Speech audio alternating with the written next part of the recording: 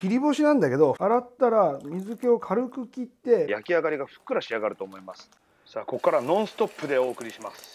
手前側つまり上り坂の坂の上の方に向けて返していくんです。その勢いでくるっと一回転する。スケボーの解説をしてる人の気分になってまいりました。これはうまいよ。また台湾行きたくなっちゃうね。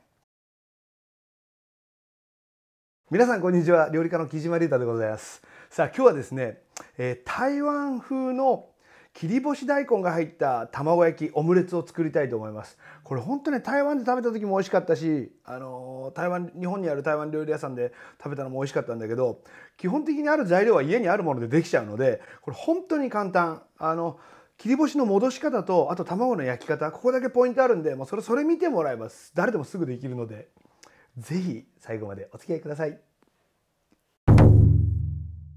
さあ材料です。まず切り干し大根。たっぷりね。はいこんな感じで使います。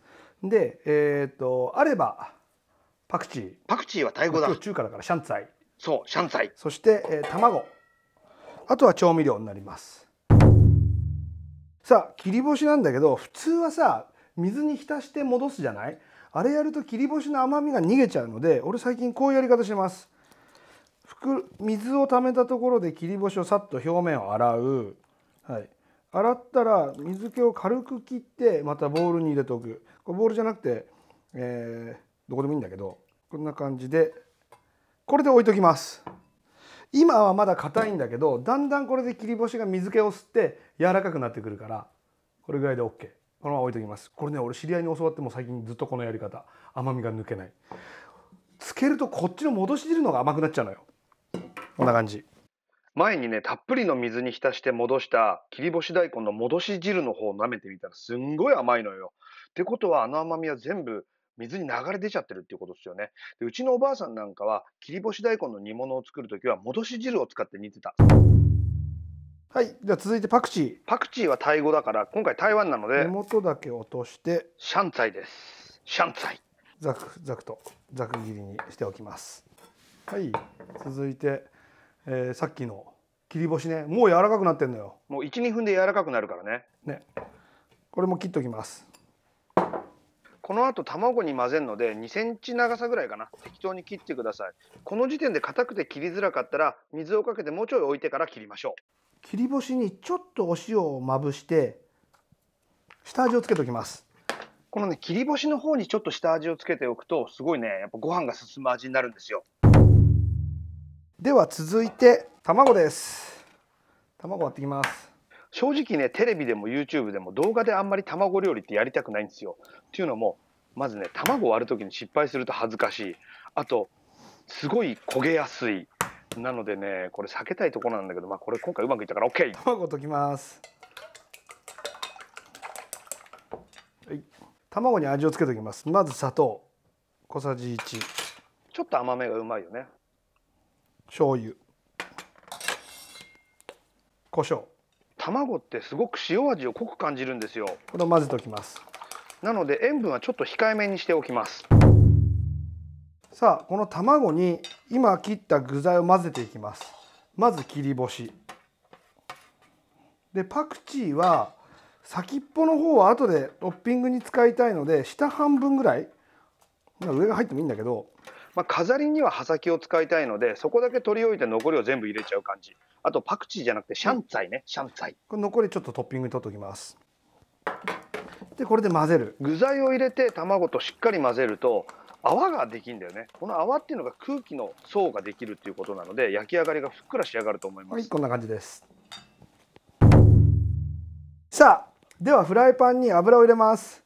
ちょっとね多めに入れる本来はね中華鍋で作る料理なので油がたまるぐらい。この卵を先箸の先っぽにつけてジューって言えば膨らめば OK はいこれでじゃあ卵入れます。さあここからノンストップでお送りします。まずは大きくかき混ぜて汁っぽいところがなくなって全体が半熟になるまでこういうふうに混ぜながら炒めます。まだ液状にさついてくるじゃない？だんだんこの鍋の底が見えるぐらいに固まってきますあもうこれぐらい固まってきました。こうやるとほらもう開いちゃうぐらいになったらもう OK 開いちゃう？要は鍋底が見えるぐらいになったらもう固まってきてるっていうことなのでこれで混ぜる手を止めます。まずは全体が半熟になるまでかき混ぜながら加熱して半熟になったら下を焼いていく。でこのまままずは底面を焼き固めていきます。で焼き時間はもうフライパンと火加減によるので何とも言えないんだけどそこが、えー焼き色がつけば OK ふわふわですね。あのやっぱり多めの油でやるとふわふわなんだよねでさ本当はこれ中華鍋で作るものじゃない。だから油が溜まってるところにどんどん卵と混ざっていくっていうやり方をフライパンでやるにはこういうふうにちょっと多めの油で一気にこう混ぜていくっていう。こういうふうに揺すって卵が1個に固まってればもう焼き固まってるってことですよね。で時々箸で端っこをちょっとめくってみて焼き色がどれぐらいついてるかチェックしながら焼いていきましょう。火加減もねここで加減して。うん、焼き固まってきました。そうしたらこれねどうしようかな。そっちのカメカメラでいくね。こう下に箸を入れて一気にこの上り坂にしてこう返す。おお上手にできた。ちょっと分かりづらいのでスローモーションでもう一度。わかるかな？まずねフライパンの前方を下げてちょっと角度をつけます。で箸はしっかり中に入っているねで卵を裏返すのは手前側つまり上り坂の坂の上の方に向けて返していくんですちょっとやってみましょう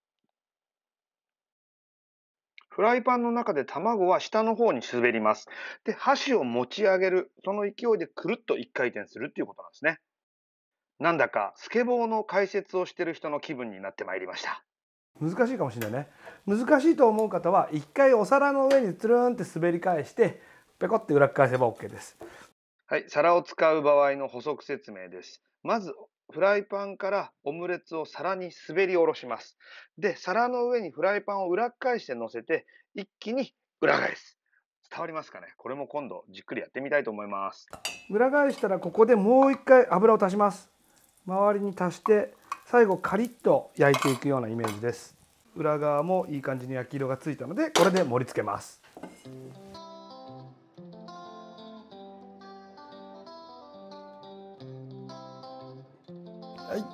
だきますもちろんさもう何もかけずに食べても美味しいんだけど俺はねちょっと個人的にあのオイスターソースをちょろっとかけて食べるのが好きなんですよ台湾だとあんまそんな食べ方しないのかな？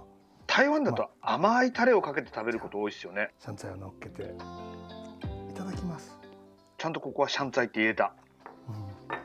うんこのシャキシャキ音がいいですね。これはうまいよ切り干し大根のシャキシャキ感もあるし切り干し大根から出る甘みが卵に溶けてるの。で卵はちょっとしっかり焼きのふわふわふかふか系なんだけどそこにこの切り干しとシャンツァイのシャキシャキパキパキっていう音がねたまんない。これ美味しいね。ほんとね台湾行って食べたのも美味しかったし昔よく行った台湾料理屋さんで食べたのも美味しいけどこれ自分で作ってもねほんと美味しくできます。もうおつまみにもなるし何だったらお弁当のおかずにだっていいしさこれはねあのぜひシャンツァイなかったらさ卵と切り干しだったらいつでもあるじゃんすぐ思い立ったら作れるのでぜひ作ってみてくださいこれうん確かにシャンツァイ苦手な人はね、三つ葉でもいいし、細ネギでもいいし、なんだったら入れなくてもいいしね。また台湾行きたくなっちゃうねもう台湾でしか使えないカードのポイントがたまりまくってるんですよ。なので、本当に早くコロナ落ち着いて台湾行きたいもんです。というわけで簡単美味しいのでぜひ皆さんこれ作ってみてください。チャンネル登録グッドボタンコメントお待ちしております。それではまたまた近々。